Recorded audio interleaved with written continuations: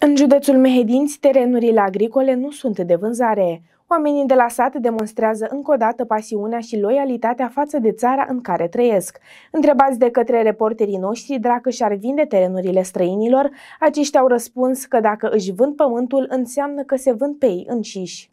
Pământul României este acum mult mai vulnerabil ca oricând în străinării lui, ce n-au reușit cei mai aprici dușmani ai neamului românesc, marile imperii vecine, începând cu cel roman, continuând cu cel otoman și hasburgic și terminând cu cel rusesc. Iată că reușesc conducătorii noștri politici, corupți și fără pic de patriotism, și să ne înstrăineze și pământurile străbunilor. Tot mai multe legi favorizează vânzarea terenurilor românești străinilor.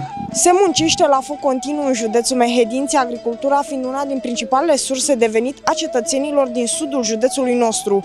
Oamenii spun că fac asta de o viață și au refuzat toate ofertele venite din partea investitorilor străini, spunându-le acestora faptul că niciodată nu o să vândă acest teren. În județul Mehedinți, terenurile agricole nu se vând așa ușor. Oamenii de la sat nici nu vor să audă ofertele investitorilor străini. Pentru ei pământul înseamnă tot. Au încercat investitori străini să vă cumpere terenul? Au venit oamenii, nu sunt de acord cum au ca.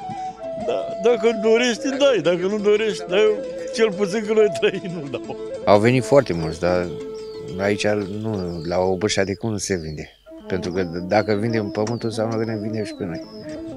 Eu unul nu. Dacă tata a luptat în război pentru pământul ăla care l-a moștenit din moștenit și noi acum. Așa și moștenit și noi acum. De ce să-l dau în răsplin? În România, oamenii de la sat nu sunt susținuți să-și păstreze pământul și să-l muncească. Copiilor vând terenurile bunicilor, străinilor fără să se gândească, doar ca să scape de el. În schimb, pleacă în alte țări să muncească în agricultură. Cu toții ar trebui să valorifică mai mult pământul românesc, care este o comoară pentru țara noastră.